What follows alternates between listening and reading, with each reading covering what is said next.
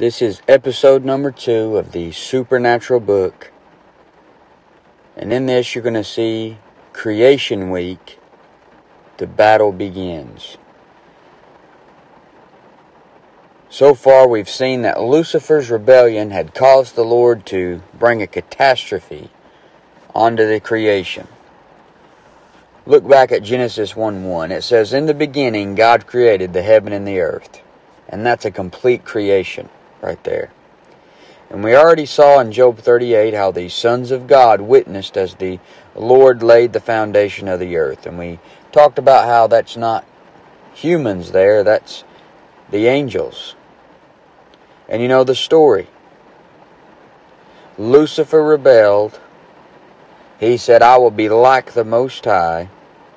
Most likely, a lot of those angels rebelled with him. But the Lord came back and said, You're not the Most High, Lucifer. You'll be brought down to hell to the sides of the pit. An everlasting fire was prepared for Lucifer and those who rebelled with him. And this would have been when hell was created. In Matthew 25:41 it says, Then shall ye say also unto them on the left hand, Depart from me, ye cursed, into everlasting fire prepared for the devil and his angels. Lucifer's not in that everlasting fire yet. He was left out because he will present the rest of the creation with a choice. And the devil would eventually go around making deals with God's creatures. He would seduce, he would beguile, he would entice men to sell themselves to work evil in the sight of the Lord. And they may not sign a paper contract with the devil, but they come to a place in their heart where this temporal, temporal world means more to them than God does. Means more to them than their soul. But when Lucifer rebelled, the Lord brought a catastrophe on the original earth that left it without form and void. Just like it says in Genesis 1 2, and the earth was without form and void. See, in verse 1, you had a complete creation in the beginning.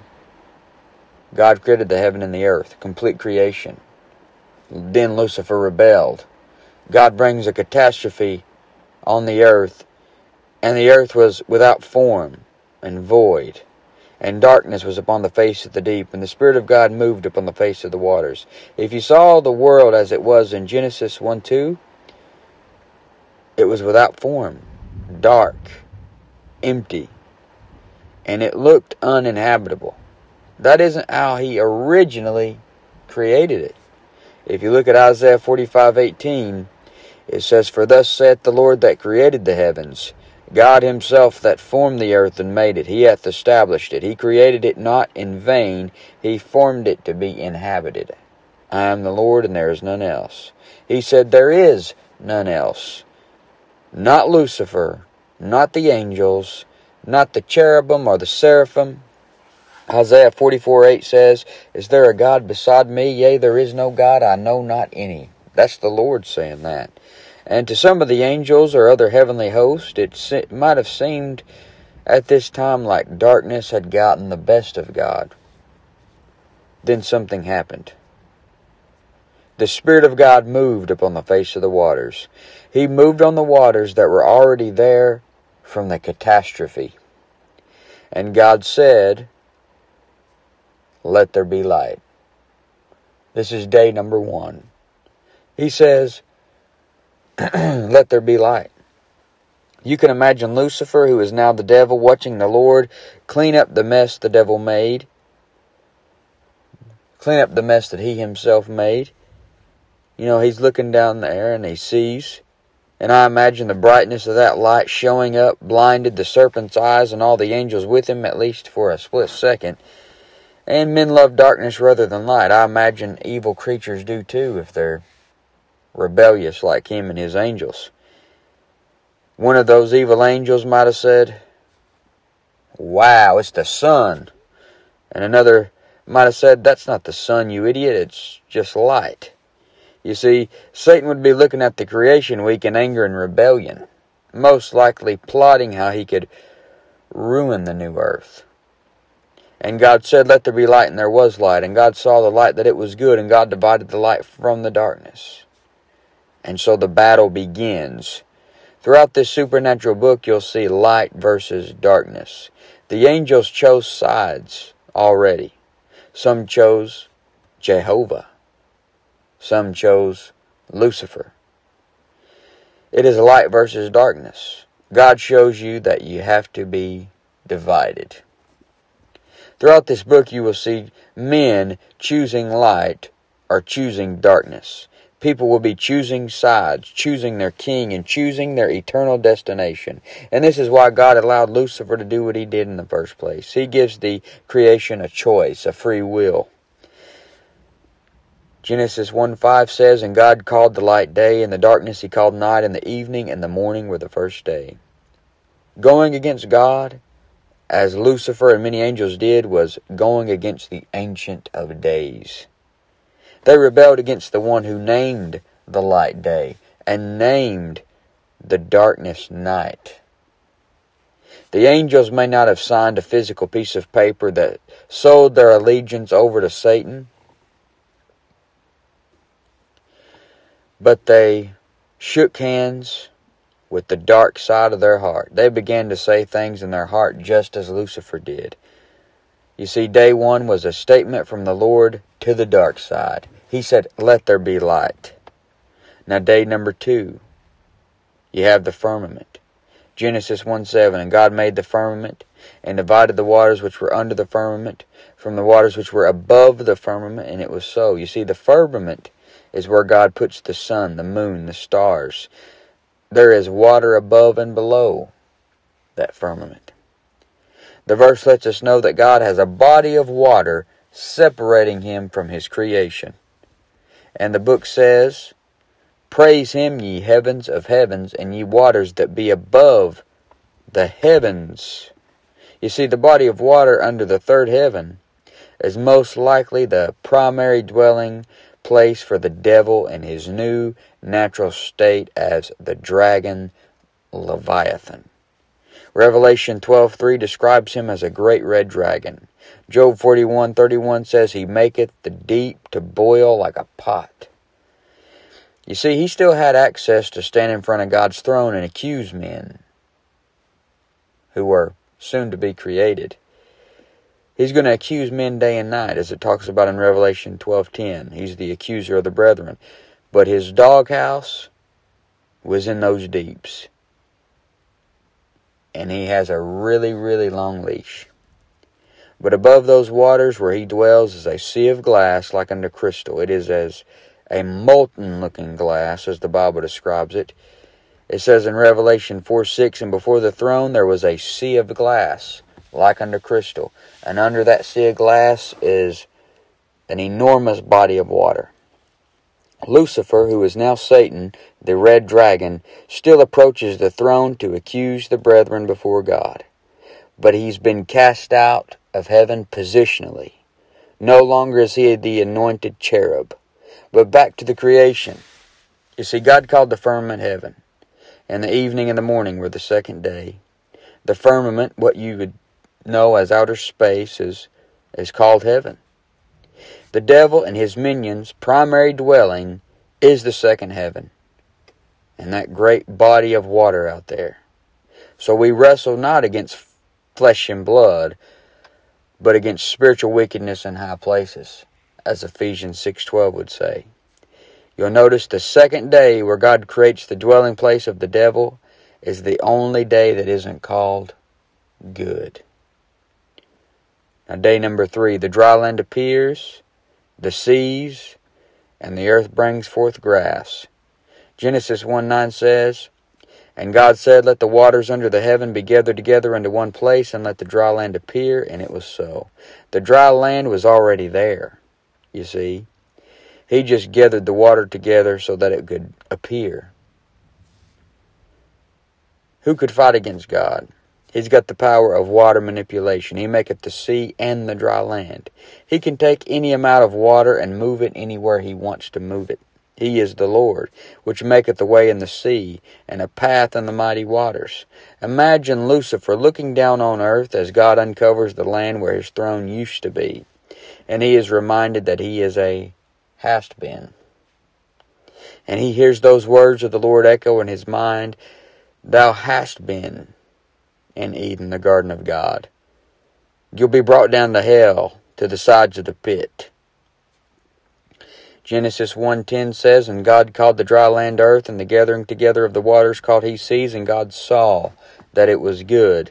When you go against God, you're going against the being that made the earth and named it. He could spin the earth on his finger like a basketball or a snow globe, depending on how you look at it. Isn't it funny how all the other planets are named after false gods, but the one the Lord named is called Earth? And God said, Let the earth bring forth grass, the herb yielding seed, and the fruit tree yielding fruit after his kind, whose seed is in itself upon the earth, and it was so. And the earth brought forth grass, and herb yielding seed after his kind, and the tree yielding fruit, whose seed was in itself after his kind. And God saw that it was good, and the evening and the morning were the third day. You see how easily God brings forth trees? Do you think God's main concern is with nature? God is not an environmentalist. He will actually burn the trees up on several different occasions in this supernatural book. In Exodus 34:13, the Lord even commands Moses and Israel to cut down the groves. You see, men begin to use the shade of the trees to worship their false gods under, because the shade, the shadow thereof is good under them trees, and men love darkness rather than light because their deeds are evil. Isn't it something that man even has to take something that God created to make their own false gods? That's what they do with the trees. In Deuteronomy 4:28, it says, "And there you shall serve gods, the work of men's hands, wood and stone, which neither see nor hear nor walk, which neither see nor hear nor eat nor smell." You see, your false gods are made out of what God created, Yet, for some reason, they think that it's superior to God. How about the devil was up there in the second heaven, plotting about what he could do with those trees? Now, day four, you got the sun, moon, and stars. Genesis 1 14 through 16. And God said, Let there be lights in the firmament of the heaven to divide the day from the night, and let them be for signs, and for seasons, and for days and years, and let them be for lights in the firmament of the heaven to give light upon the earth. And it was so. And God made two great lights, the greater light to rule the day, and the lesser light to rule the night. He made the stars also. Well, the greater light is the sun, the lesser light is the moon, and to this very day, thousands of years into human history, man spends billions of dollars trying to reach the lesser light that God made. Just reaching the moon is considered a great feat for man. But did they even get that far? One guy said he was watching the moon moon landing live on TV when it happened, so he went out and looked up and the moon wasn't even out that night. He said it was a complete sham. They have the greatest brains on the planet trying to figure out the smallest details of what God created 6,000 years ago, yet they think they're smarter than God. Romans 11:33 says his ways are past finding out. Romans 11:34 says for who hath known the mind of the Lord. Can you imagine how powerful you would have to be to create the sun or just to have the moon standing still up there and not falling? You see, he's upholding all things by the word of his power. Can you imagine how powerful you would have to be to be able to use the sun as a weapon? You see, Spider Man has webs, Thor has a hammer. Batman has all kinds of stuff. But what does the Lord have? Oh, nothing. Just the sun. What's more powerful than someone who can control the sun? You know, some smart guys say you could fit 1.3 million Earths in the sun. Maybe you can, I wouldn't doubt it. But God is a being that goes beyond our comprehension. He has the sun and all other stars in his arsenal. He could take them and throw them at you if he wanted to. He could use the stars as his ninja stars. Nobody, nobody's standing a chance. Genesis 1.16, And God made two great lights, the greater light to rule the day, and the lesser light to rule the night. He made the stars also. No biggie. He made the stars also. According to the Bible, there is an innumerable amount of stars. It says in Psalm 147, 4 and 5, He telleth the number of the stars. He calleth them all by their names. Great is our Lord, and of great power his understanding is infinite. He telleth the number of the stars. He could count the stars. He knows them all by name. They got this thing where you can name your own star. Too late. God already named them. He already gave them a name. In Genesis 1:17, and God set them in the firmament of the heaven to give light upon the earth. You see, God is the only reason you have the lights turned on. And God set them in the firmament of the heaven to give light upon the earth and to rule over the day and over the night and to divide the light from the darkness. And God saw that it was good. Once again, you see, dividing the light from the darkness. And the evening and the morning were the fourth day. And I'm sure old Lucifer was out there in his new evil villain's lair and saying, The sun. That gives me an idea for a sun god. Or how about a moon god? And he saw the stars and he thought about horoscopes. And he just looked at God's creation. How can I use this against God? Now, day five, you got birds and fish. Genesis 1:20 and God said let the waters bring forth abundantly the moving creature that hath life and the fowl that may fly above the earth and the open firmament of heaven. You see that water's connected to life. He used water to give life. And when you get saved the Bible says out of the out of his belly shall flow li- rivers of living water. John 7:38. You see when you read the supernatural book it washes your spirit just like Drano going through clogged up pipes. And the Lord sanctifies and cleanses with the washing of water by the Word. We can use the book, this supernatural book, to cleanse ourselves from all filthiness of the flesh and spirit. It is the ultimate weapon against evil. It is our sword, and through this supernatural book you will see the story of it forming. Genesis 1:21 And God created great whales and every living creature that moveth, which the waters brought forth abundantly after their kind, and every winged fowl after his kind. And God saw that it was good. The Lord mentions the well, maybe because it reminds us of the Lord's resurrection. The Lord already made a promise to himself that he was going to fix the mess before the world began. He already knew about the death, burial, and resurrection. It was just his little secret. And God created great whales, and every living creature that moveth, which the waters brought forth abundantly, after their kind, and every winged fowl after his kind, and God saw that it was good. Do you realize that everything in the ocean was created by God Himself? People are amazed by the ocean, and the creatures in the darkest parts that haven't even been discovered yet. The Lord knows what is in the deepest part. Daniel 2.22 says, He revealeth the deep and secret things. He knows, knoweth what is in the darkness, and the light dwelleth with him. Genesis 1.22, And God blessed them, saying, Be fruitful, and multiply, and fill the waters in the seas, and let fowl multiply in the earth. Take note that the Lord uses the word fill in verse 22 and not replenish. Take note of that. Genesis 1.23, In the evening and the morning were the fifth day. Now, day six, you got land animals, you got man, you got the tree of life and tree of knowledge of good and evil. Genesis 1 24 through 26. And God said, Let the earth bring forth the living creature after his kind, cattle and creeping thing, and beast of the earth after his kind. And it was so. And God made the beast of the earth after his kind, and cattle after their kind, and everything that creepeth upon the earth after his kind. And God saw that it was good. And God said, Let us make man in our image, after our likeness, and let them have dominion over the fish of the sea, and over the fowl of the air, and over the cattle, and over all the earth, and over every creeping thing that creepeth upon the earth. He said, Let us make man in our image. You see, the Lord is one God. He is the Father, the Word, and the Holy Ghost. And just as man, He made man with a body, soul, and spirit, God is also a three part being. Explaining the Godhead or the Trinity, as people call it, is something man has tried to do for thousands of years. I mean, the explanation for it is laid out thoroughly up there in a file cabinet guarded by a bunch of angels, and maybe we'll get to read all about it one day when we get a glorified body. But right now, I couldn't sit and explain to you the Godhead.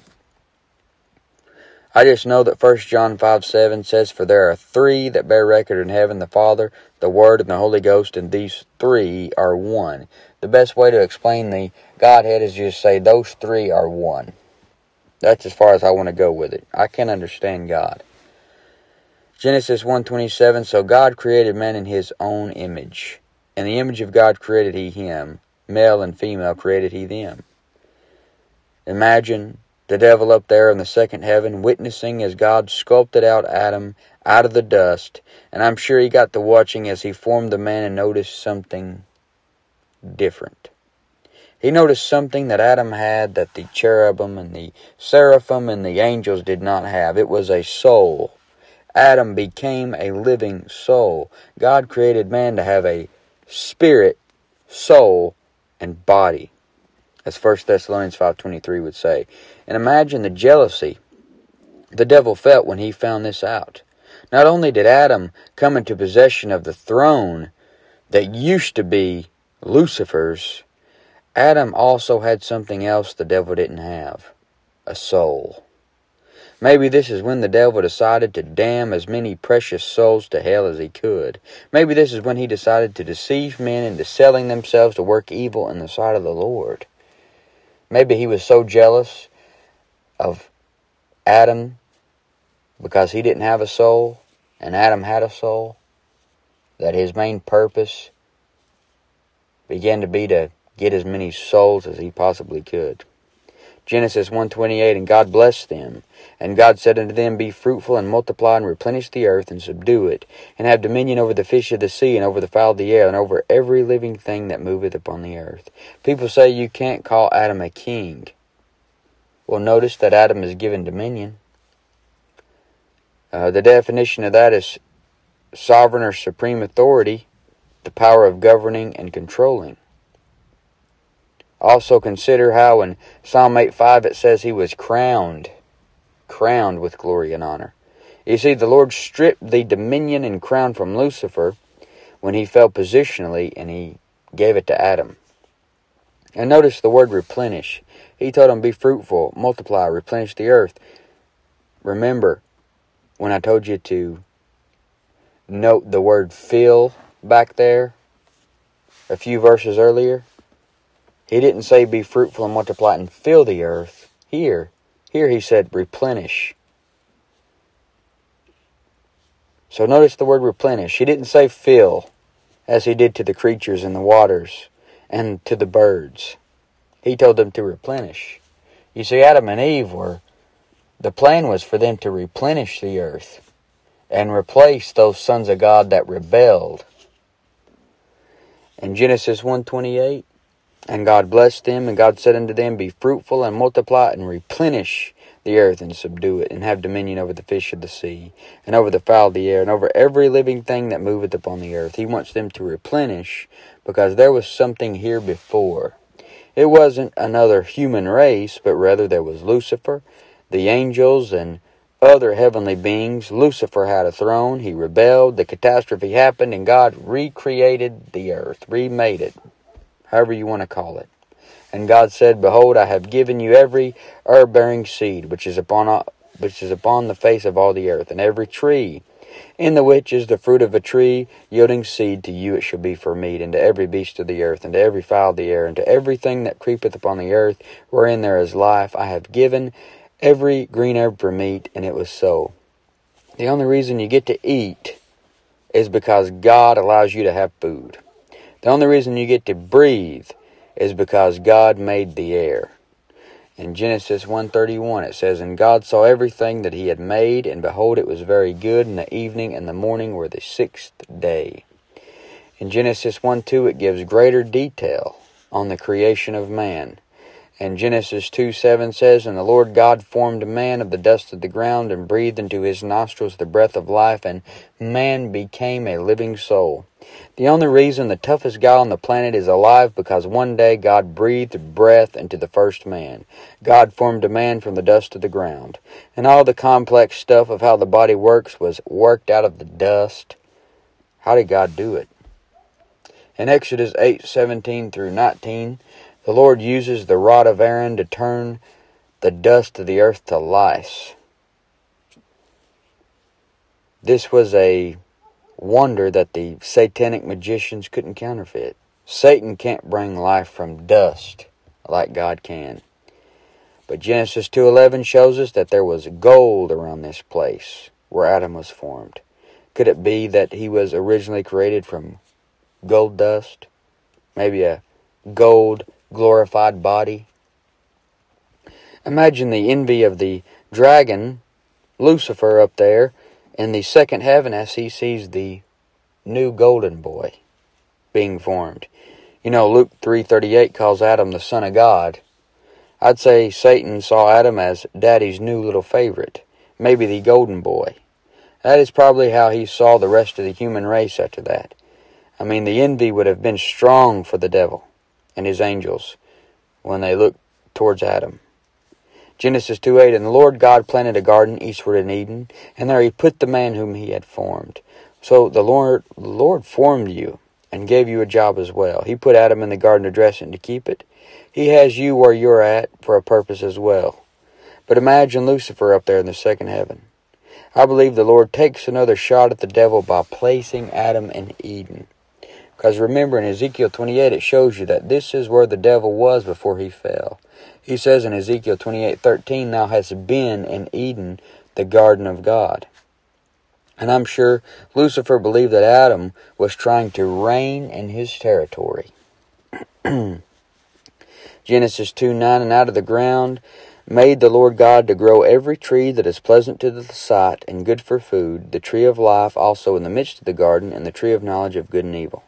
Obviously, all of the trees that God made were pleasant to the sight. And there were two very mysterious trees that God made in the garden. He made the tree of life, and he made the tree of knowledge of good and evil. But more on those later. Genesis 2.20, 2.21 And the Lord God caused a deep sleep to fall upon Adam, and he slept, and he took one of his ribs, and closed up the flesh and stood thereof. The Lord has the power to put you under. He could make you go to sleep and never wake up. He could put the devil in a coma if he wanted to. The Lord is about to perform a surgery on Adam that would take a doctor years of schooling to be able to perform. It says in Genesis 2:22, "In the rib which the Lord God had taken from man made he a woman and brought her unto the man." How do you make a woman out of a rib? Well, anything is possible with God. He made Adam from dust, so and Adam said, This is now bone of my bones, and flesh of my flesh. She shall be called woman, because she was taken out of man. Therefore shall a man leave his father and his mother, and shall cleave unto his wife, and they shall be one flesh.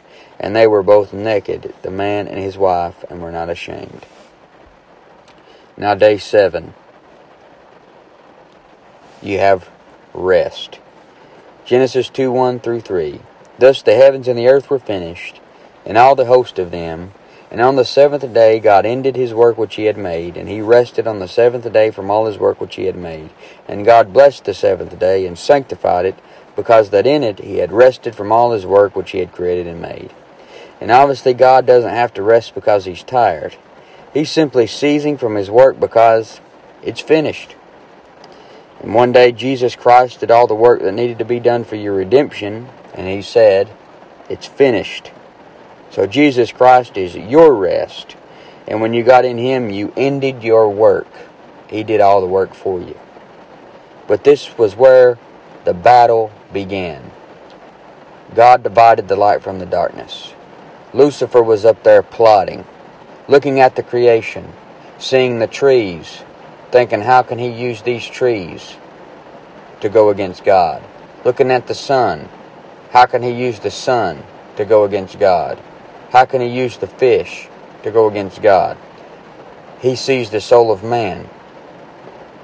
And he's thinking to himself, I don't have a soul. I'm going to go and get as many of these precious souls as I can and take them from the Lord. And this is where the battle begins.